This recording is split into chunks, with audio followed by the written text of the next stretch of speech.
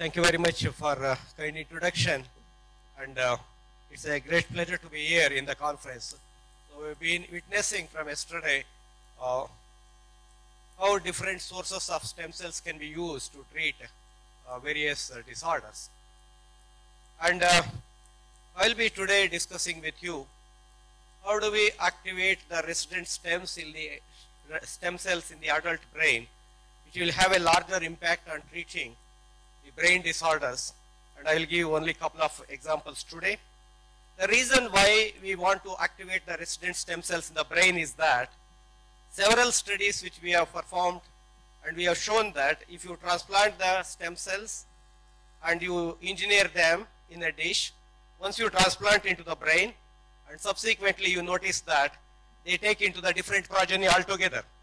So you want to have the cells, they're supposed to release certain neurotransmitters and repair a particular disorder like in the PD, but the cells which are transplanted there, so they take into different phenotype. So that is a great limitation what we notice in the stem cell therapies for treating the brain disorders. So keeping that in mind, and uh, we took a different lead altogether. So is it possible for us to activate the resident stem cells which are present in the, the brain, in the adult brain?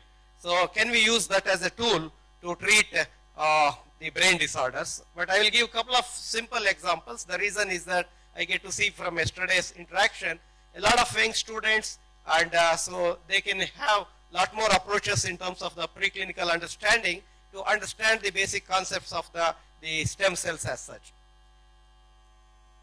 So I will give a simple example like uh, the stress. Each one of us we undergo into different levels of stress. Does the stress affects uh, your neurons in the brain? And uh, a mild form of stress is always better. It is well full because it prepares your body and the brain to face the eventuality of the stressful events. And if the stress is uh, for a long period and if it is in a severe condition and which could uh, significantly affect uh, the overall functioning of the brain and it could affect the physiology, it could affect the psychological homeostasis and it could result into the different kinds of the brain disorders ranging from anxiety or in the PTSD. But if the stress is very severe and if it is for a repeated exposure and it's not controlled, it can result into long-term deleterious effects leading into depression and also you have an advanced aging and you could also have the cognitive deficits associated with the chronic, uh, the stressful conditions. So you have a brain structure which is shown here uh, in yellow. It's called as the hippocampus and this is a brain structure which is crucially involved in uh, understanding different information which is available in the external world. This is the structure which is involved in the various forms of learning as well as the memory and this structure is highly plastic and also is highly susceptible to various kinds of brain insults including the, the stress or depression or in the the schizophrenia or in the stroke or different neurological and psychiatric illnesses, this structure seems to be extremely important and uh, this is the structure which is crucially involved in, in translating what you are, you are learning from yesterday and forming the, the memories in the brain. Okay.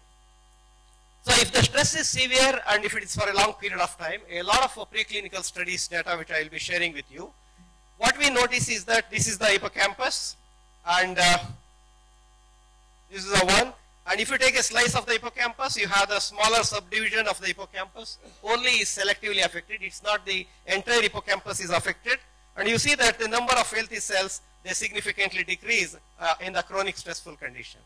If you look at the neurons in the hippocampus, this is in the CA3 region of the hippocampus. This is where the processing of the information about the external world. So the hippocampus is involved in the declarative kind of memories. So this is to know about the facts and events. So what you are learning and what is happening in and around you. but also to know about the places and faces. So to have the spatial navigation and spatial maps, the hippocampus is crucially involved. And uh, what you notice is that this is in the stressful condition, in a chronic stressful condition. Can you see these processes? They are called as the dendrites. So the dendrites are like an antenna which receives the information from the multiple source and then it integrates and it processes the information. The ability of information receiving from the hippocampus cells, specifically in the CA3 neurons of the hippocampus, is significantly lost. So you could appreciate here, this is in the control neuron, and this is following the chronic stressful condition. You could appreciate that it loses the, the connectivity in the brain. And most importantly, if you take a small portion of the, the dendrite and you will have a small button-like structures, they are called as the dendritic spines. These are the sites where the communication between one nerve cell to the other nerve cell happens. So you could appreciate that this is in the control situation, when you are in a normal situation and when the individuals who are subjected to the chronic stress, you notice that the dendrite thins down and in addition to that you also have these button-like structures have been lost. That means the connections in the brain has been significantly lost whenever we are in the stressful condition. So that translates into overall shrinkage of the, the brain structure, specifically the hippocampus. Can you see this one? This is the hippocampus and this is in rodents. What you appreciate is that in a chronic stressful condition, the overall size of the hippocampus significantly decreases. This is very true in the aging or in the major depression or in the schizophrenic individuals. What you observe is that the overall volume and the size of the hippocampus significantly decreases. That's what we have observed. Since you have the reduction in the uh, the number of cells and also the volume of the hippocampus, does it alter the information processing ability in the brain? How do we study that? So for that you have to do the live recording of the information. How does the information process in the brain? And the, we, we do the live slices of the brain and then we monitor in the live condition and this is what is the wonderful circuitry of the hippocampus. The information processed uh, from the external sources into the cortex, it reaches into this portion and from this portion it, the processed information reaches into this region and this neuron communicates to this neuron and what we do is in each one of them and we record the electrical activity. This is what is the tool for you to translate the short-term memories to the long-term memories and uh, that's what we study in the live condition. And look at here. So, so before you entered into uh, the lecture today and you had this, this level of the activity in the brain, so specifically in the neurons and uh, as and when you pay enough attention to the contents of my lecture, and you should be in this level, the red one. So the brain activity, specifically in the hippocampus, there should be a substantial activation of the brain circuitry, and uh, that's what happens uh, in, whenever we learn the new things, and whenever we learn new things and we translate the short-term memories to the long-term memories, so you have enhanced activity. That enhanced activity is maintained for a long period of time, so we call it as long-term potentiation. So this is in the normal situation, this is in the stressful condition. The red one is in the stressful condition.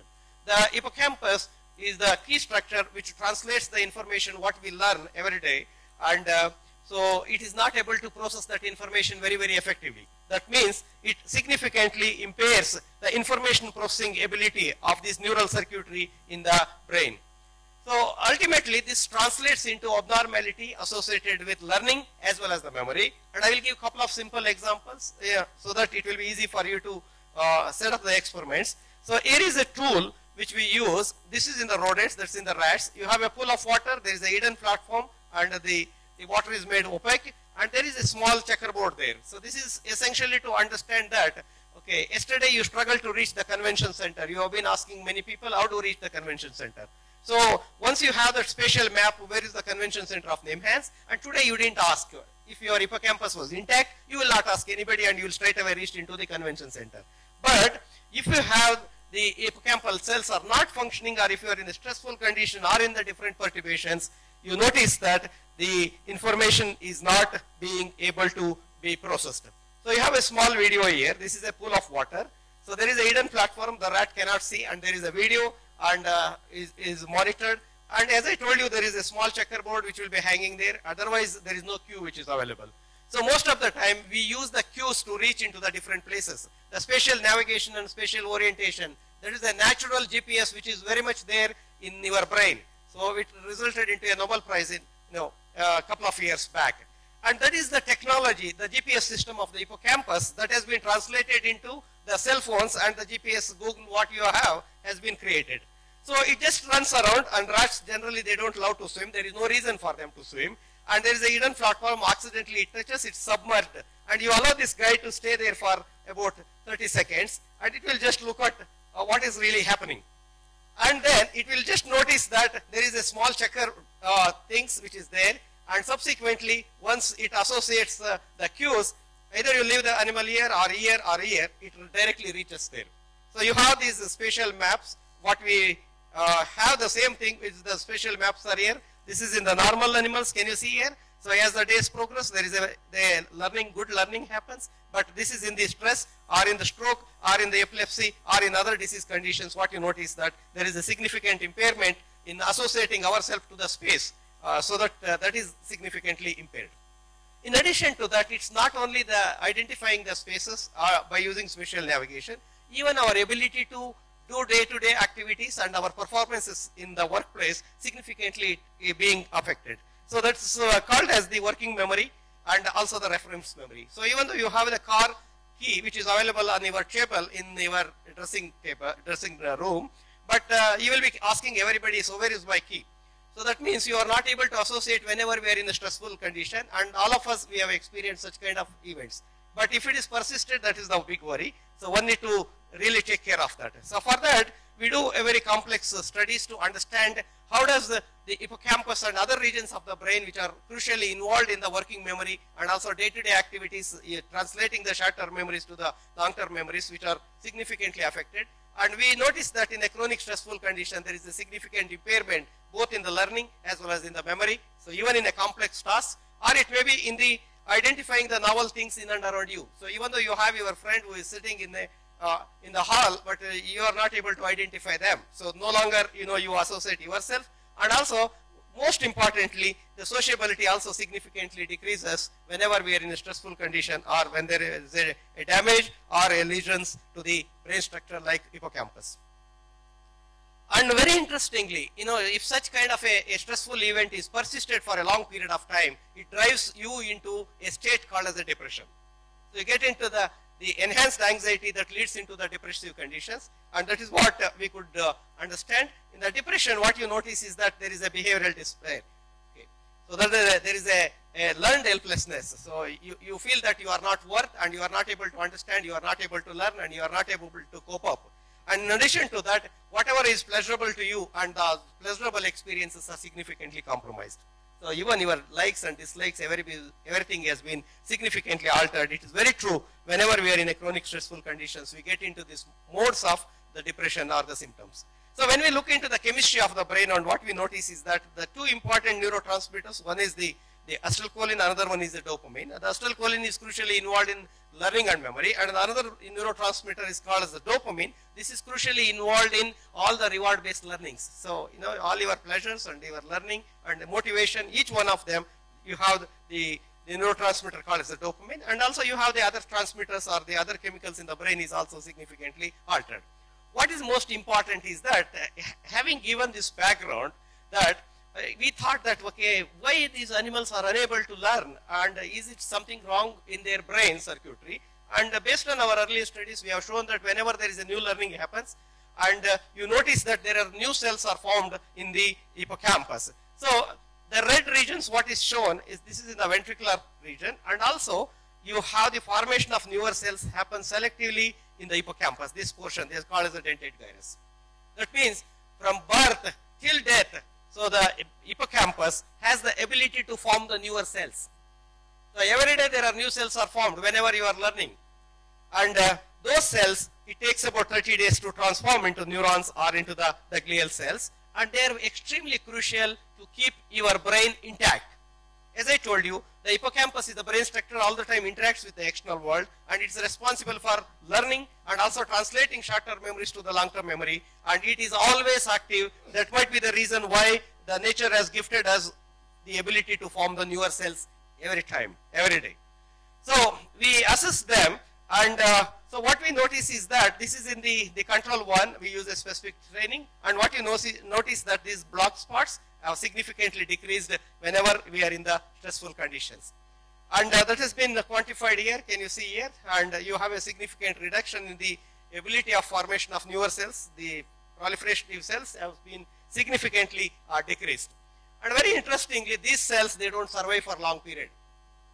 So, whenever you have the, there is a perturbation to the hippocampus, even though you have a minimal number of new cells are formed in the hippocampus, they don't survive for a, a long period of time.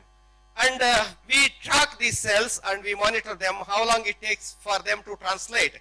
So this is uh, the neuroblast cells. This is a very primitive or the progenitor cells and it takes about 32 days to transform into a, a neurons within the, the dentate gyrus. So each one of them, the survival and the differentiation ability in the brain has been monitored and we use a different kind of staining tools and these are the triple labeling and I will not go into the details of them and those who are interested we can interact with you, each one of you. So the, this one, the blue one what you have is the neuronal phenotype that's called stained with NeuN and there is the, the red ones they are the glial phenotype they are called as the stained with the S100 beta and the, the BRDU the green one is the one whichever the cells which are newly formed they are the, they are the progenitor cells they are labeled. So we do the triple labeling so that we could understand that whether these cells they transform into neurons or into glial cells and how long it takes. It takes about 32 days to transform the newly formed uh, progenitor cells into the neuronal phenotype. It's about 40 percent and you have about 6 percent of them are the glial phenotype and you, remain, you have about 48 percent is the undifferentiated cells.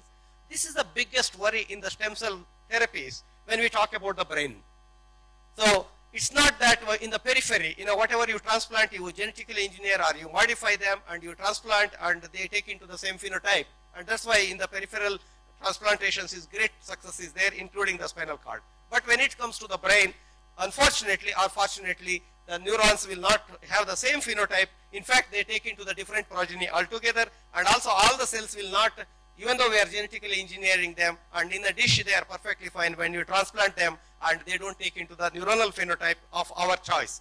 So about 40% of the cells they remain undifferentiated and these cells are probably responsible for formation of teratomas. So this is the biggest worry, it's a big, great challenge what we have when we treat the patients with stem cells for the brain therapies or the brain diseases. So one has to be extremely cautious. So let me summarize here what I have been talking about it.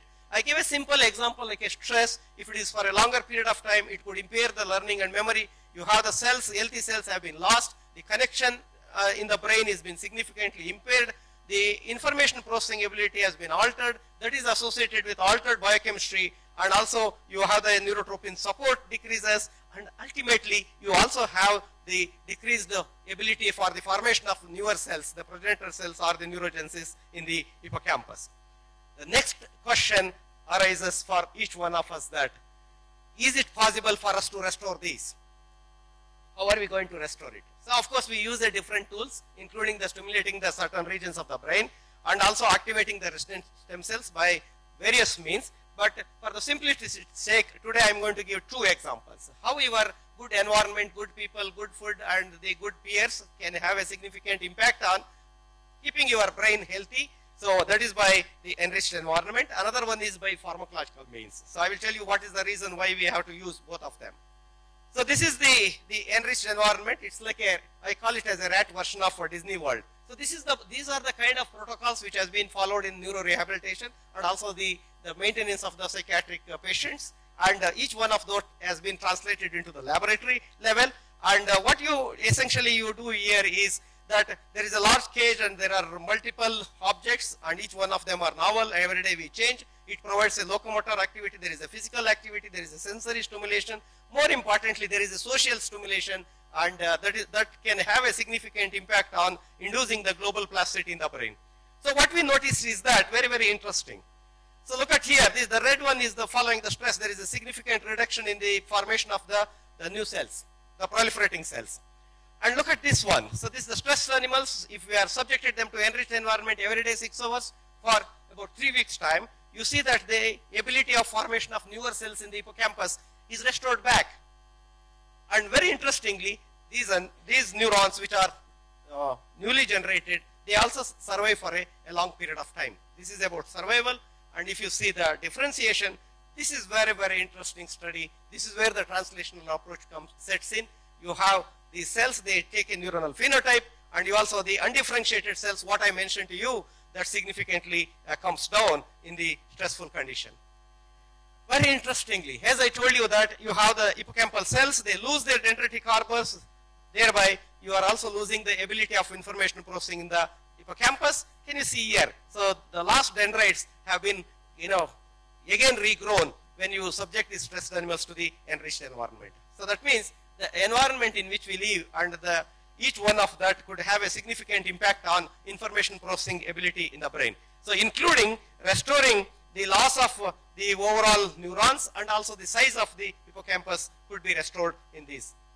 what is most important and interesting is that these are the challenging experiments which we have done in the live slices. We will study the electrophysiological changes and the networks, how it has been affected.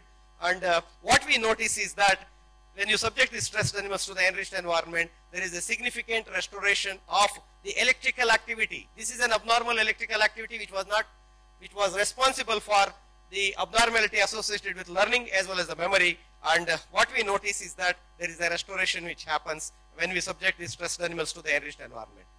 It's wonderful that all these changes, it translates into a better learning. So there is a scope for you to learn if you could activate the resident stem cells. So it's very true that even the complex learning, what I mentioned to you about the reference memories or the working memories and day-to-day -day activities, each one of them is significantly restored back and each one of those, including the symptoms associated with the, like a depressive symptoms, could also be restored uh, in these animals whenever you activate the resident stem cells in the hippocampus. And what is uh, interesting is that as I mentioned to you that you have two neurotransmitters, two chemicals in the brain. One is the acetylcholine, another one is the dopamine. There is a significant reduction which has happened as a resultant of the chronic stress. And uh, what we have done is we took a pharmacological approach.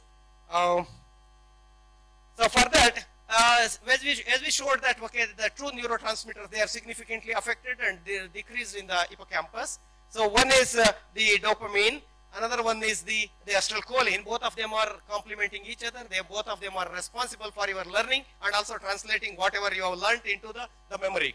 So for that we use the two drugs. One is the bromocriptine, it's a D2 receptor uh, agonist.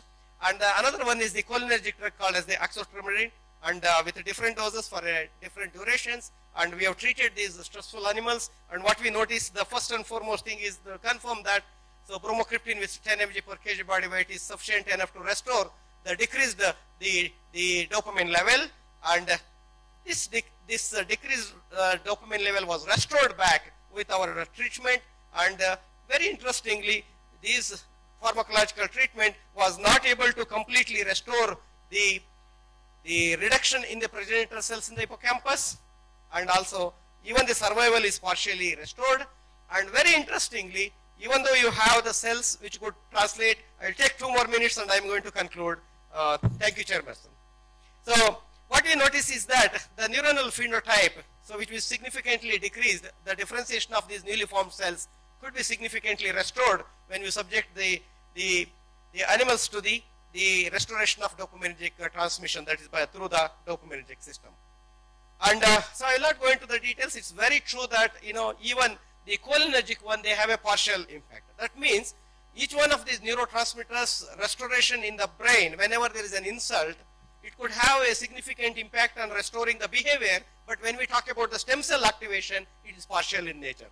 That means the activation of resident stem cells in the adult brain happens with the multiple modalities and the multiple tools and uh, each one of us, we should seriously think that we need to use a multiple tools to activate the resident stem cells. They will be very, very helpful in restoring the abnormalities associated with the brain disorders. So look at here actually. So both these uh, pharmacological agents, it may be the bromocriptine one. Can you see here this one? So this is the block one is the normal and this one. So even the information processing ability in the hippocampus could be significantly restored and by both the dopaminergic drug as well as the cholinergic drug. So let me summarize here. Uh, uh, the stress which impairs the, the learning and memory and also these cognitive deficits are associated with altered chemistry of the brain and also alters the synaptic plasticity that is the tool for us to learn and also to store the information and that could be restored significantly or these cognitive changes can be ameliorated by enriched environment or by restoration of cholinergic and dopaminergic transmission. That happens through the activation of resident cells, resident progenitor cells in the adult brain. This is what is most important. In the adult brain, you could activate the resident stem cells. So thereby, you could ameliorate the cognitive deficits, including the depressive-like behavior. So what is most important is that, okay, is it possible for us to translate into the human conditions? It's very true and uh, we have been working for several years to understand that, okay, is it possible for us to correct the abnormal brain circuitries associated with a complex brain disorders? It may be in the Fragile X mental retardation or in the Down syndrome or in the cases like this, you have the developmental disorders like hydrocephalus Or you have the microcephaly where the, the development of the brain is abnormal. You have the small brains and also various kinds of abnormal brain developments like you have the lissencephaly. If you see the surface of the brain is so smooth or if you see the endosulfan victims, victims what you see in the Kasargodu, you see that there is a, a significant impairment in the development. So you have the off of the, the brain, especially the cerebellar region is not developed. So the brain structure itself is not developed. If that is the case, so is it possible for us to activate the resident stem cells in the brain? And the second thing is that can we complement with uh, the transplantation using the, the stem cells? So this is a kind of an approach which we take and I will not discuss about it and those who are interested they can be in touch with me. We use a multiple tools to restore the abnormal brain circuitries in the brain in various brain disorders. It may be stress, anxiety, depression, epilepsy, aging and mental retardation and my lab is working on these aspects and uh, so all these things are happening because you have a wonderful ability of the brain is the plasticity.